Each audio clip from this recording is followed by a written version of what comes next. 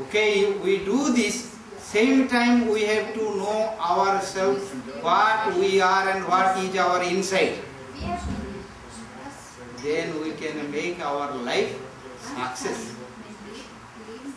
Even in death time, also we will smile, we will be happy. Everybody they are afraid for death because they lose everything.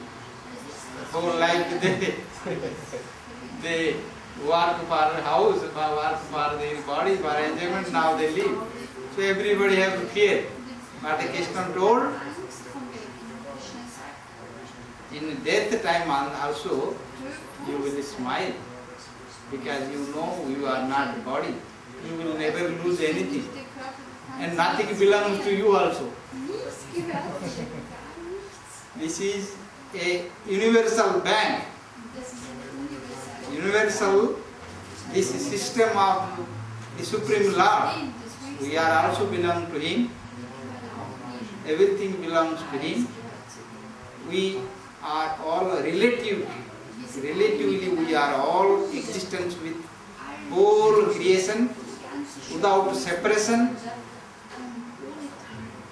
So if we understand our own self, what is our function, then we can control ourselves, control this material attraction which disturbs us.